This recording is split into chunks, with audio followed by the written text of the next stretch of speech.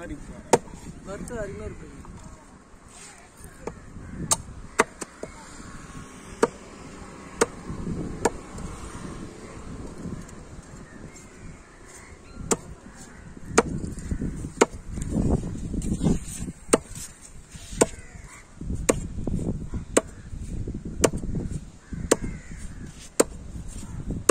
கண்ணாடி பால் இன்னும் ரைட்டாக இருக்குது